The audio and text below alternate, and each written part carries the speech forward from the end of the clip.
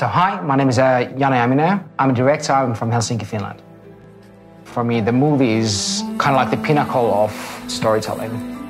When Olympus first approached us with this case, um, what format can we do that allows us to tell as many possible scenes and different kinds of action, different dialogue, different situations, going from light to dark and fast movement, slow movement, into trailer.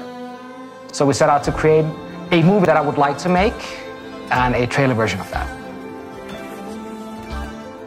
My first impressions with this new camera is that it really takes what the EM1 Mark II did really well.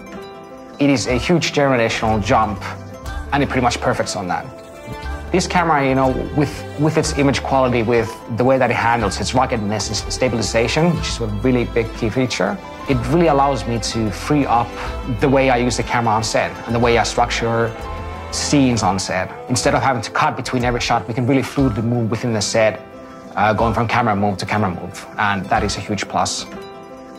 The thing that we kept asking for was give us log mode, and that was finally delivered on this camera. And not only delivered, but I feel like they've completely revamped the way this camera does colors.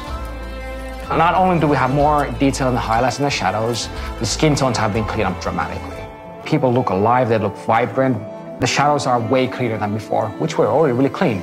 There's way more highlight detail, and honestly, when compared to the industry right now, I think Olympus has some of the better skin tones for the cameras.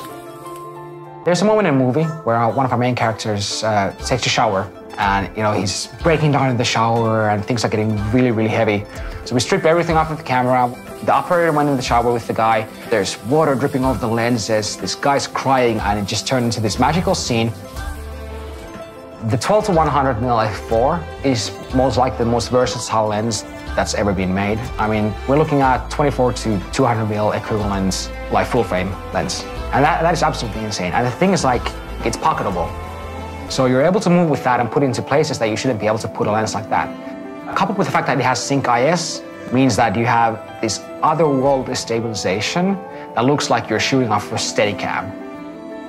This is a strong, powerful cinematic tool that has a place in my tool bag that no other camera can take right now.